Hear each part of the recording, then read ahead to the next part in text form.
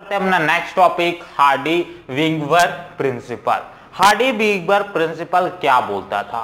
Hardy Weinberg principal ये बोलता था कि दैट जो भी एलिलिक फ्रीक्वेंसी होगी किसी भी पॉपुलेशन की कंसिडरेशन में, वो एकदम सेम टू सेम होगी, या फिर इसी को सेम बोलने से अच्छा है, बोल दो कांस्टेंट होगी। सबसे अच्छा कांस्टेंट वर्ड बोला उन्होंने तो हम भी कांस्टेंट बोल देते हैं।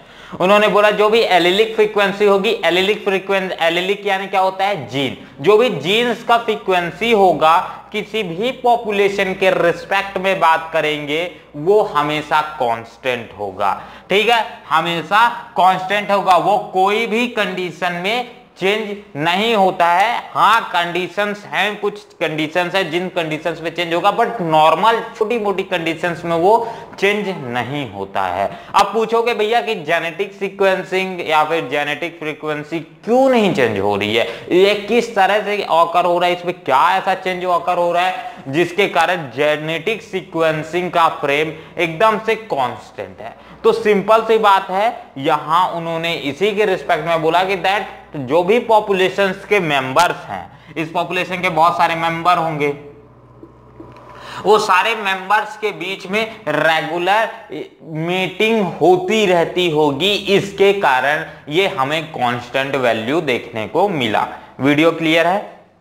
चलो, ठीक है। कांस्टेंट वैल्यू देखने को मिला। अब अब बाद में फिर उन्होंने अपने इसी हार्डी वीवर प्रिंसिपल में इसी सारी चीज़ों को बोला कि दैट यही सारी की सारी चीज़ें हैं जिन्हें वो हार्डी वीवर इक्विलिब्रियम बोलते हैं। हार्डी वीवर इक्विलिब्रियम या फिर हार्डी वीवर इक्विलिब्रियम कांस्टेंट ठीक है? इक्विलिब्रियम कांस्टेंट भी बोला जाता है। तो दोनों चीज़ें आप बोल सकते हो या फिर हार्डी वीवर कांस्टेंट बोल सकते हो। दोनों चीज़ों से। ठीक? तो ये सारी सारी उन्होंने बताया। अब उन्होंने बोला कि दैट ये सारी चीज़ें ठीक है बट हो सकता है अगर कोई फ्रैक्चुलेशन आता है फ्रैक्चुलेशन अगर होता है तो यहाँ जेनेटिक सीक्वेंसेस में चेंजेस हो सकते हैं। अब बोलोगे कौन कौन से फ्रैक्चुलेशन है, उससे पहले ये किस तरह से डिफाइन करती थी, उस बात को समझते हैं। तो ये वो, ये हार्डी बीबर प्रिंसिपल ये बोलता था कि that P square plus Q square plus two Q two Q P Q sorry two Q P लिखो या पी क्यू लिखो, जो लिखना है लिखो। P and Q is equals to one Hardy Weinberg principle क्या बोलता था? कि दैट ये सारे का सम ये बाइनोमियल एक्सप्रेशन का सम कितना होगा? वन यहाँ पास P and Q as a population के मेंबर्स को डिफाइन करते थे। ठीक है? और ये ओवरऑल इस वैल्यू एज अ कांस्टेंट हमेशा वन ही आता है। ये हार्डी बीबर प्रिंसिपल सजेस्ट करता था। ये क्या होता है? ए एल की फ्रीक्वेंसी पी एंड क्यू के रिस्पेक्ट में हमेशा इक्वल आएगी। दैट ए और वह इक्वल किसके इक्वल होगा? सेम टू सेम होगा हमारे वन के। ये होता है। अब ये जो भी हमारे पास बाइनोमियल एक्सप्रेशन है मेनली ये बाइनोमियल एक्सप्रेशन से लिया गया है। पी क्यू और का होल स्क्वायर से लिया गया है। अब जनरली पी क्यू का होल स्क्वायर को सॉल्व करोगे तो क्या होगा? P square plus Q square plus two Q L ठीक? ये जनरली इस इक्वेशन से लिया गया है और ओवरऑल ये सारी सारी वैल्यू सेम है। हाँ एक चीज़ ध्यान रखना हार्डी बीबर प्रिंसिपल चेंज होगा, अगर उसमें कोई फ्रैक्चुलेशन आएगा, और फ्रैक्चुलेशन किस किस कारण सॉकर होगा, वही हम नेक्स्ट स्टार्ट करेंगे, इसी के बाद। अब बढ़ते हैं इसी में नेक्स्ट टॉपिक जीन माइग्रेशन इसी में क्या क्या फैक्टर्स हैं, उसमें स्टार्ट करते हैं। पहला फैक्टर जो कि हार्डी बीबर प्रिंसिपल को अफेक्ट करता है या फिर फ्रैक्चुलेशन ऑकर करने में मदद कर सकता है, उसकी बात। तो सबसे पहले आता है जीन माइग्रेशन और जीन फ्लो जिसे बोलते हैं। Gene M I G R A T I migration और जीन फ्लो जीन माइग्रेशन और जीन फ्लो जिसके कारण हो सकता है फ्लैक्चुलेशन अगर हो जाए जेनेटिक सीक्वेंसिंग में अगर बात किया जाए। तो जीन माइग्रेशन और जीन फ्लो होता क्या है? दोनों सेम टू सेम है जीन माइग्रेशन और जीन फ्लो एकदम सेम है। अगर बात करेंगे तो जी, जीन माइग्रेशन या जीन फ्लो होता क्या है? सबसे पहले तो यही आता है दिमाग में तो जीन माइग्रेशन या जीन फ्लो अगर हो सकता है जीन्स की माइक माइग्रेशन हो माइग्रेशन यानी होता है मूवमेंट मूवमेंट यानी एक जगह से दूसरे जगह जाना, उसे बोला जाता है माइग्रेशन तो अगर जीन्स या फिर एलिल्स की माइग्रेशन होती है विथ इन अ बॉडी एक जनरेशन से दूसरे जनरेशन में, ठीक है, एक जनरेशन से दूसरे जनरेशन में जो जीन्स की एज अ एक्लुमिनेशन होता है, नए जनरेशन में पासेज होती है, उस पासेज के कारण न्यू करेक्टर्स की एडिशन होती है नए ग्रोथ में, नए ग्रोइंग इंडिविजुअल्स में और धीरे धीरे पुराने वाले जो इंडिविजुअल था, उसके कैरेक्टर्स एलिमिनेट होना चालू हो जाते हैं बॉडी से। और यही पूरा प्रोसेस अपने को जीन माइग्रेशन कहलाता है, या फिर इसी को हम जीन फ्लो भी बोलते हैं। ठीक है? अब बोलो कि जीन फ्लो कैसे होता है? देखो जीन फ्लो मेनली मैंने बताया कि एक जनरेशन से दूसरे जनरेशन में जो जीन की ट्रांसफरेंस होगी, उस ट्रांसफ़र के कारण जो न्यू कैरेक्टर्स एक्वायर होंगे, वहाँ पास आएगा अपना जीन फ्लो अब बात करते हैं कि नेक्स्ट के इस फैक्टर के ऊपर डिपेंड करते हैं। एक तो ये फैक्टर हो गया जीन माइग्रेशन और जीन फ्लो नेक्स्ट अपना जीन ड्रिफ्ट जेनेटिक ड्रिफ्ट दूसरा आ जाएगा. G E N E T I C genetic drift. Genetic drift क्या होता है? जेनेटिक ड्रिफ्ट के ऊपर भी ये सारे सारे फैक्टर्स बहुत ज़्यादा मेनली डिपेंड करते हैं कि क्या हार्डी बीबर प्रिंसिपल चेंज होगा या नहीं। देखो जेनेटिक ड्रिफ्ट क्या होता है? जेनेटिक ड्रिफ्ट यानी होता है कि ओवरऑल जेनेटिक सीक्वेंसिंग में जो चेंजेस ऑकर होंगे, ठीक है? ये जो चेंजेस ऑकर होंगे, एक पॉपुलेशन में, एक पॉपुलेशन के मेंबर्स में, अब धीरे धीरे ये पूरा फ्लैक्चुलेशन ऑकर कर देगा चेंजेस ऑकर कर देगा। हार्डी बीबर प्रिंसिपल में ओवरऑल जिसके कारण हार्डी बीबर प्रिंसिपल की स्टेबिलिटी डिस्टर्ब होने लगेगी तो ये भी एक फैक्टर बनता है जीन जेनेटिक ड्रिफ्ट जो कि हार्डी बीबर इक्विलिब्रियम को डिस्टर्ब करता है। अब नेक्स्ट आता है म्यूटेशन हाँ इसी में हमेशा एक चीज़ और ध्यान रखना, एक चीज़ आता है फाउंडर इफ़ेक्ट एंड फाउंडर ये दो कॉन्सेप्ट हैं, एक मार्क्स में हो सकता है। आ जाए। U N D founder effect और दूसरा वर्ड है फाउंडर ठीक। फाउंडर इफ़ेक्ट और फाउंडर क्या है? फाउंडर इफ़ेक्ट यानी होता है जो कि फाउंडर के कारण जो इफ़ेक्ट ऑकर हो, उसे बोला जाता है फाउंडर इफ़ेक्ट एंड जिसमें, जिसके कारण ऑकर हो रहा है, उसे बोला जाता है फाउंडर नहीं समझ आया? चलो. जिस जिस जेनेटिक सीक्वेंसिंग या फिर जिस स्कूडिंग के कारण, जिस जेनेटिक सीक्वेंसिंग के कारण न्यू इफेक्ट्स ऑकरिंग होते हैं और उस इफ़ेक्ट के कारण जो बॉडी में चेंजेस आते हैं, जो कैरेक्टर बिल्डिंग होता है, ठीक है, जो फ्रीक्वेंसी में चेंजेस आते हैं जेनेटिक फ्रीक्वेंसी में जो चेंजेस आते हैं, उसे हम बोलते हैं जेनेटिक और फाउंडर इफ़ेक्ट और जिस जेनेटिक फ्रीक्वेंसी में चेंज आता है, उसे हम बोलते हैं फाउंडर क्लियर है? चलो तो इसका भी एक स्क्रीनशॉट ले लो, थोड़ा सा रब करूँगा मैं। इसके बाद नेक्स्ट आता है म्यूटेशन म्यूटेशन सभी जानते हैं भाई. म्यूटेशन सभी जानते हैं भाई, ये इसको हम पहले से ही पढ़ के आ रहे हैं। तो तीसरा आ जाएगा इफ़ेक्ट जो कि मेनली डिपेंड करता है म्यूटेशन म्यूटेशन क्या होता है? म्यूटेशन यानी होता है कि स्लो और रैंडम चेंज जो कि बॉडी में ऑकर होते रहते हैं, ये ओवर अ जनरेशन और over a period of life उसे बोला जाता है म्यूटेशन ठीक? तो म्यूटेशन मेनली क्या होता है? एक टाइप का रैंडम चेंज होता है और एक टाइप का स्लो प्रोसेस होता है, जो कि जेनेटिक सीक्वेंसिंग और बॉडी में डीएनए सीक्वेंसिंग ये डिफरेंट डिफरेंट सीक्वेंसिंग के कारण ऑकर होता है। हो सकता है ये कोई और इफ़ेक्ट हो केमिकल बेस्ड भी हो सकता है, हो सकता है कोई फ़िज़िकल बेस्ड भी हो जाए। तो ये डिफरेंट डिफरेंट फैक्टर्स के ऊपर डिपेंड करता है और म्यूटेशन, ये ही एक इवोल्यूशन कॉज करने में मदद करता है हम पहले ही पढ़ चुके हैं। ठीक तो म्यूटेशन भी हार्डी बीवर प्रिंसिपल को हो सकता है अफेक्ट कर सकता है एक लार्ज वे में। अब इसके बाद बात करते हैं जे, जेनेटिक रिकम्बिनेशन ठीक तो चौथा अपना पॉइंट होगा I think so genetic recombination what is genetic recombination सबसे पहले यही। जेनेटिक रिकम्बिनेशन यानी होता है जेनेटिक्स के बेसिस पे जो रिकम्बिनेशन मतलब अगर जो जीन्स या डीएनए एक साथ मीटअप करते हैं, एक साथ बाइंड अप करते हैं, उसे बोला जाता है जेनेटिक रिकम्बिनेशन ठीक है? जेनेटिक रिकॉम्बिनेशन हम इससे पहले कहाँ पढ़े चुके हैं? हमने भी इससे पहले, मैं पहले बोला था कि सबसे पहले इवोल्यूशन मत पढ़ना, सबसे पहले डीएनए वाले चैप्टर्स कवर करना, ठीक है? चलो तो ठीक है, वहाँ वाले चैप्टर्स अगर कवर किए हो तो भाई बहुत अच्छा है। वहाँ पास हमने पढ़ा था जेनेटिक रिकॉम्बिनेशन जेनेटिक रिकॉम्बिनेशन एक ऐसा प्रोसेस है जिसमें दो या दो से अधिक डीएनए आके एक साथ जुड़ते हैं या फिर दो जीन्स एक साथ जोड़ते हैं, उसे बोला जाता है जेनेटिक रिकम्बिनेशन तो जेनेटिक रिकम्बिनेशन में जब मियोसिस प्रोसेस के वक्त या गैमेटोजेनेसिस प्रोसेस जब हमारे बॉडी में होता है। गैमेटोजेनेसिस प्रोसेस कौन सा प्रोसेस है? गैमेटोजेनेसिस प्रोसेस एक ऐसा प्रोसेस है जिसमें हमारे बॉडी में गैमेट्स की फॉर्मेशन होती है। गैमेट्स यानी मेल्स में क्या? स्पर्म की फॉर्मेशन होगी और फीमेल्स में ओवम की फॉर्मेशन होती है। उस प्रोसेस को बोला जाता है गैमेटोजेनेसिस ठीक है?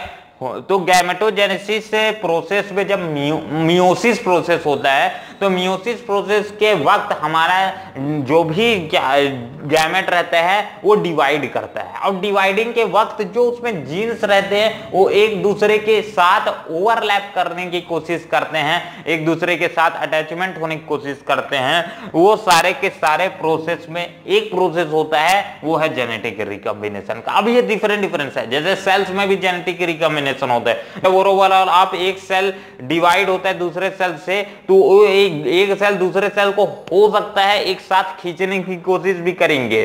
ठीक है? कई फैक्टर्स ऐसे होते हैं जो सेल डिवीज़न को रोकते हैं बॉडी में। तो वो सेल डिवीज़न को जो रोकते हैं, वो भी एक टाइप का जेनेटिक रिकॉम्बिनेशन को दर्शाते हैं। अगर हम कोई भी जेनेटिक इंजीनियर्ड इंसुलिन को या वैक्सीन को अपने बॉडी में इंजेक्ट करते हैं तो वहाँ भी जेनेटिक रिकॉम्बिनेशन होगा। तो जेनेटिक रिकॉम्बिनेशन भी एक बहुत बड़ा कॉज बनता है, जो कि हार्डी विंगबर प्रिंसिपल को बदल सकता है। तो ये भी एक फैक्चुएलेशन कॉज करने में मदद करता है। अब नेक्स्ट बात करते हैं आखिरी। I think so genetic natural selection अभी तक हम इसी को पढ़ते आ रहे हैं तो इसको भी ले लेते हैं। N A T U R A L natural S E L E C T I O natural selection what is natural selection natural selection एक ऐसा प्रोसेस है जो कि हम, जो कि, जो इस इंडिविजुअल्स जो इस दुनिया में फिट है, वही सरवाइव करेगा। उस प्रिंसिपल को जो डिफाइन करता है वो नेचुरल सिलेक्शन मतलब नेचुरल सिलेक्शन एक ऐसा प्रोसेस जिसमें जेनेटिक और इनहेरिटेंस मेनली दो फैक्टर्स डिपेंड करते हैं। जेनेटिक और इनहेरिटेंस फैक्टर्स बॉडी में न्यू ग्रोथ को ऑगर करने में मदद करते हैं। ठीक? तो कहलाता है नेचुरल सिलेक्शन नेचुरल सिलेक्शन ये प्रोसेस है, एक टाइप से समझ सकते हो कि जो दुनिया में फिट है, वही आगे जाके फर्दर सरवाइव करेगा और रिप्रोड्यूस भी करेगा और अपनी जनरेशन भी बढ़ाएगा. इसलिए फिट रहना बहुत ज़्यादा ज़रूरी है और बॉडी को फिट रखो और एक्सरसाइज करना योगा करना बहुत ज़्यादा ज़रूरी है. चलो भैया, हम तो कुछ नहीं करते हैं, पर करेंगे। थोड़ा बहुत खेलता हूँ, ठीक है? मोबाइल में गेम नहीं, असली में खेल चलो तो ये हो जाएगा नेचुरल सिलेक्शन का प्रोसेस तो ये सारे के सारे प्रोसेस है जो कि हार्डी बीवर प्रिंसिपल को फ्लैक्चुएट करने में मदद करते हैं। अब मेनली कौन कौन से इफ़ेक्ट ये शो करते हैं, इसके एक स्क्रीनशॉट ले लो, फिर इफेक्ट्स की बात करते हैं। मूविंग फॉरवर्ड चलो, आगे बढ़ते हैं। तो ये पूरा का पूरा एक डोमेस्ट्रेशन है, जो कि हम आगे पढ़ने वाले हैं। तो सबसे पहले आता है क्या क्या factors mainly Hardy Weinberg effect show करते हैं। इफेक्ट्स क्या क्या है? इफ़ेक्ट शो करते हैं हार्डी बीबर प्रिंसिपल्स के अकॉर्डिंग तो पहला आता है इफ़ेक्ट स्टेबलाइजेशन स्टेबलाइजेशन स्टेबलाइजिंग हम यहाँ पढ़ेंगे। एक दोनों एक ही है, ठीक है? नेक्स्ट आता है डायरेक्शनल और तीसरा आता है डिस्ट्रीब्यूटिव ये तीन फैक्टर्स आ जाएँगे, जो कि पूरे के पूरे ओवरऑल पॉपुलेशन के शेप को हार्डी वीवर प्रिंसिपल्स के अकॉर्डिंग दिखाएँगे कि कैसे वो इफ़ेक्ट शो करते हैं और किस कंडीशंस में कैसा इफ़ेक्ट हो सकता है शो होने को, देखने को, अपने को मिले। तो सबसे पहले यहाँ पास जो हमारे पास यहाँ वाई एक्सिस में है numbers of individuals with uh phenotypes है। मतलब कितने फिनोटाइप्स जनरली उनका फिनोटाइप्स क्या है? एक नेचुरल कंडीशन में वो फिनोटाइप्स को यहाँ डोनेट कर रहे हैं। यहाँ पास नेक्स्ट आ जाता है। हमारे पास phenotypes favoured by natural selection show कर रहा है, ठीक है? ये डैश डैश डैश डैश जो कि नेचुरल सिलेक्शन के थ्रू हम इंडिकेट करेंगे। और ये वाला जो टॉप है, वो मीडियम साइज़ इंडिविजुअल्स को शो करेगा। जहाँ मतलब एक कांस्टेंट सा डेवलपमेंट होते रहेगा, इस ऐसा इस तरह का। तो मेनली ये तीन फैक्टर्स है। एक तो स्टेबलाइजिंग दूसरा डायरेक्शनल तीसरा डिस्ट्रीब्यूटिव तो पहली बात करते हैं, यहाँ पास आ जाएगा peak at higher higher and narrow ये लिखना भूल गया। चलो peak at higher and narrow लिख लेना। तो ये पहला वाला जब स्टेबलाइजिंग आता है तो स्टेबलाइजिंग में ना जो भी हमारा पिक वैल्यू आता है, वो मैक्सिमम आता है। मतलब यहाँ जो इंडिविजुअल सरवाइव कर रहे हैं इंडिविजुअल्स यहाँ इस टाइप का अगर ग्रोथ किसी भी एरिया में हो रहा है या किसी भी पॉपुलेशन की ग्रुप में हो रहा है तो यहाँ ज़्यादातर मीन कैरेक्टर्स उन लोग एक्वायर करेंगे। मीन कैरेक्टर मतलब एक जैसा करेक्टर उनका होगा। मीन कैरेक्टर ठीक है? मीन कैरेक्टर से ये एक्वायर करते तो इसमें ज़्यादातर कोई डेवलपमेंट कोई चेंजेस अगर नहीं होता है। तो ये आता है, इसे बोला जाता है स्टेबलाइजिंग वीडियो क्लियर है? पहली बात बता दो भाई लोग। हाँ क्लियर है। चलो नेक्स्ट आता है बी बी आता है हमारा डायरेक्शनल तो नॉर्मल जो हमारे पास रहता है, वो को ओवर ना तो कोई बड़ा रहता है, ना ही ज़्यादा रहता है। मतलब ज़्यादा कोई डेवलपमेंट नहीं हुआ रहता है और ना ही कम ही डेवलपमेंट होती है। बट अगर डायरेक्शनल की बात करेंगे तो ये directional what at a one side directional रहता है। ठीक है? इसमें जो ग्रोथ होती है, वो एट अपर साइड होता है। मतलब हमेशा peak value peak value peak value और हायर से हायर वैल्यूज़ को रीच करने की कोशिश करेंगे। मतलब इनका जो पिक वैल्यू ये रहेगा, वो बहुत ज़्यादा नैरो रहेगा। मतलब ज़्यादातर लोगों का एक जैसा करेक्टर रहेगा। बट ये एक पिक यहाँ जो डायरेक्शनल होता है, वो डायरेक्शन में वन डायरेक्शन होते हैं ये। वन डायरेक्शन होते हैं मतलब एक डायरेक्शन में मूव करेंगे। मतलब डेवलपमेंट चेंजेस हो रहा है तो लगातार चेंजेस होते रहेंगे रेंडमली एक के बाद, एक के बाद, एक एक के बाद। जनरेशन टू जनरेशन चेंजेस होते रहेंगे और एट अ डायरेक्शनल होते रहेंगे। ठीक है? और इनका जनरली को ज़्यादा peak value higher peak value इनके लिए देखने को नहीं मिलती है। बट ये जो विथ रहता है पॉपुलेशन ग्रोथ का, वो वाइड रहता है। ठीक है? जो हमारे पास फिनोटाइप्स रहते हैं फिनोटाइप्स वो भी ज़्यादा ना कम मतलब मीडियम में अपने को देखने को मिलता है। और जनरली यहाँ कौन सा फेवर होता है? यहाँ ये मेनली फेवर होते हैं नेचुरल सिलेक्शन से। मतलब इनहेरिटेंस और जेनेटिक वेरिएशन के द्वारा ये खुद को प्रेरणा लेते भैया और बढ़ते हैं। ये ऐसा नहीं, शुद्ध हिंदी बोल दिया मैंने। ठीक है? तो नेचुरल सिलेक्शन मेनली कॉज्ड होता है डायरेक्शनल के लिए। अब बात करते हैं आखिरी जो हमारा है डिस्टर्ब्यूटिव्स डिस्टर्ब्यूटिव्स क्या होता है? डिस्टर्ब्यूटिव यानी होता है मेनली कि जो एट टू डायरेक्शन मतलब एक स्प्लिटिंग टाइप का देखने को मिले। आधे लोग इधर झुंड में भागे पड़े हैं, आधे लोग इधर झुंड में भागने पड़े हैं। तो आ जाएगा हमारा डिस्टर्ब्यूटिव तो यहाँ मेनली दो पिक्स की फॉर्मेशन होती है और इसी तरह से ये एट अ टू डायरेक्शनल होते हैं। एट अ टू डायरेक्शनल मतलब इनका कोई एक बोलो कि मीन कैरेक्टर वैल्यू तो हम नहीं बता पाएँगे। आधे लोग इधर है, आधे लोग इधर है। इसलिए ठीक है तो मेनली ये टू डायरेक्शनल होते हैं और आधे लोग इधर भागते हैं, आधे लोग पॉपुलेशन के इधर वैल्यू भागते हैं, ठीक? तो ओवरऑल इनमें क्या रहता है, ये भी एक नेचुरल सिलेक्शन के ही प्रोसेस है। कि आधे लोग करेक्टर्स वैल्यूज़ को गेन करना चाहते हैं आगे लोग नहीं गेन करना चाहते, इस तरह का है, ठीक है? अब जो गेन करेंगे, नहीं गेन करेंगे, वो पॉपुलेशन के ऊपर डिपेंड करता है, ना मैं उसे छोड़ सकता हूँ, ना ही आप उसे छोड़ सकते हो। अगर गेन होना होगा तो ऑटोमेटिक हो जाएगा, मुझे, मेरे रोकने से नहीं होने वाला है, ठीक है? तो ये डिस्टर्ब्यूटिव है मेनली टू डायरेक्शनल होता है और ये भी नेचुरल सिलेक्शन प्रोसेस द्वारा फेवर्ड होता है। ठीक है? सारे के सारे जो भी ये इस तरह के नैरोवर नहीं शो कर रहे थे इस टाइप के, इस तरह के dead dead dead dead show करेंगे, और सारे के सारे नेचुरल सिलेक्शन के द्वारा फेवर्ड होंगे। ठीक? तो ये था पूरा का पूरा Hardy Weaver principles I think so exam point of view से उतना ज़्यादा इंपॉर्टेंट नहीं है बट आपके नॉलेज के लिए इंपॉर्टेंट था, इसलिए मैंने इसे ऐड कर दिया था, ताकि आपका भी क्लियर रहे कॉन्सेप्ट कई बार पूछ देता है क्या क्या इफेक्ट्स होते हैं तो भैया इसलिए तीन इफेक्ट्स है स्टेबलाइजिंग डायरेक्शनल और डिस्ट्रीब्यूटिव तो चलिए तो इस फ़िलहाल इस वीडियो के लिए इतना ही और मिलते हैं अगले वीडियो पे। तहा तक अपने लिए अपना स्वागत रखिए, अपने, अपनी तबीयत मस्त रखिए, ठंडी में बने रहिए, ताकि जुता दे रही रहिए और आज बोलते नहीं बनना भी सर्दी हो गया मेरे को। चलो, मिलते हैं अगले वीडियो पे, तब तक लिए अपना ध्यान रखिए। जय हिंद, जय भारत।